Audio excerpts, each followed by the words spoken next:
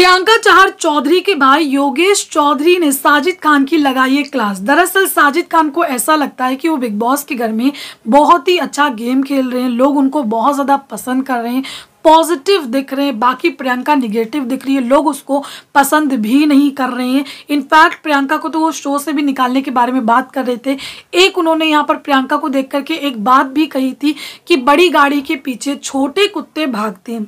अब प्रियंका के भाई योगेश का भी रिएक्शन सामने आया।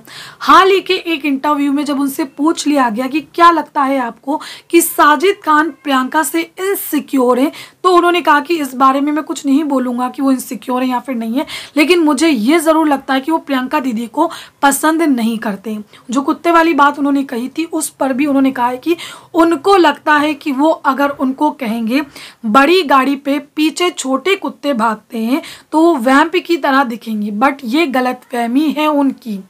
जी हाँ he will realize it the day he comes out of Bigg Boss sixteen ये गलत फहमी है कि वो वैम की तरह दिखेगी, उनको अपनी गलत फहमी दूर होगी जब वो बिग बॉस के घर से बाहर आएँगे और उनको पता चलेगा बेसिकली कौन वैम दिख रहा है, कौन विलन दिख रहा है। तो दोस्तों कमेंट करके बताइए, आप योगेश की बातों से कितना सहमत है? Thank you